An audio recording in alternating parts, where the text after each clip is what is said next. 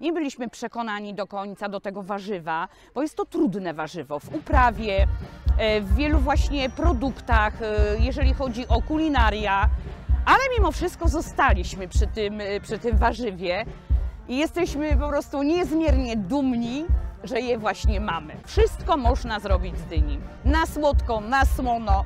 Naprawdę cuda. Same nie wierzyłyśmy w to, co produkujemy, co gotujemy.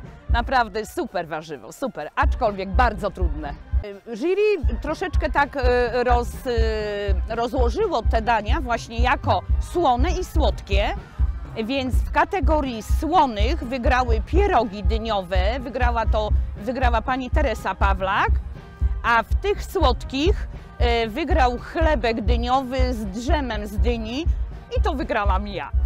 E, Jeszcze właśnie e, oprócz e, pań z koła gospodyń naszych bierze zawsze jeszcze udział sołectwo, pier, przepraszam, tak, sołectwo Pierstnica i Trzebicko. Są to też od lat z nami współ, współpracują, takie przyjazne nasze koła.